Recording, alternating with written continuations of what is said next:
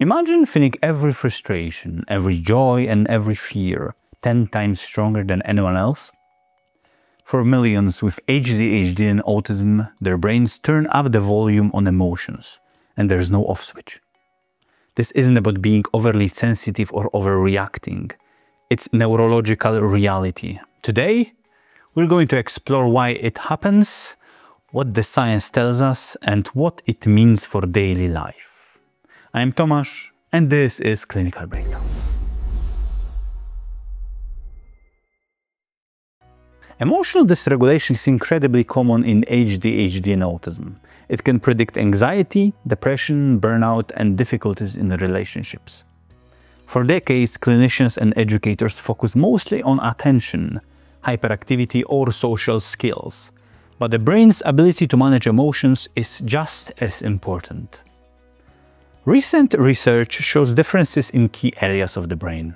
The amygdala, prefrontal cortex, and limbic circuits that generate and regulate emotions. Understanding this can change how we support neurodiverse individuals at school, at work, and at home. Let's break down what the science shows. The amygdala is responsible for generating emotional intensity. The prefrontal cortex acts like a brakes to dampen those feelings.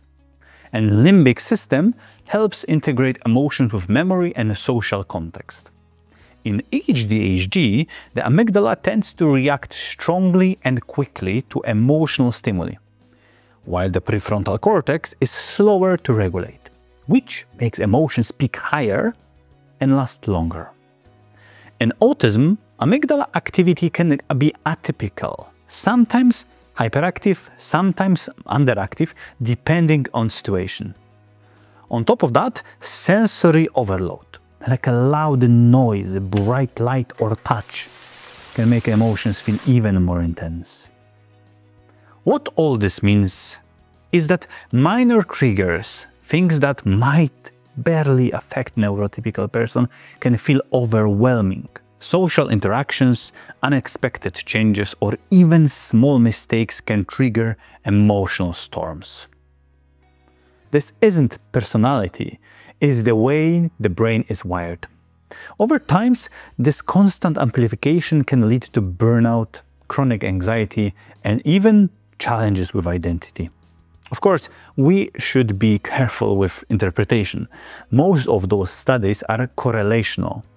Lab conditions are not the same as real life, and individual differences are huge. Not everyone with ADHD or autism experiences emotions the same way. But what those findings do tell us is that emotional intensity is real, measurable, and rooted in the brain. So what does this mean for understanding ADHD and autism? Emotional intensity is a neurological feature, not a flaw or character problem. Recognizing this can change how families, educators, and clinicians interpret behavior. Moving from overreacting to understanding the biological roots of emotional dysregulation. Interventions like mindfulness, cognitive strategies, and sensory support can help reduce emotional overload and improve daily functioning. If you have ADHD or autism, your intense emotional responses are valid. They are not imaginary or signs of weakness. For parents, teachers, and therapists, understanding the biology behind emotional overload can help create strategies and environments that reduce stress and support well-being. And for everyone, it's a reminder that the brain is wired in unique ways and emotional intensity is just one part of neurodiversity. ADHD and autism are not just about attention or social skills. The way the brain processes emotions shapes every interaction, every stressor, and every success or failure. Understanding this helps us support neurodiverse brains instead of judging them. This is Clinical Breakdown, where we decode the neuroscience behind behaviors and experiences you might see every day.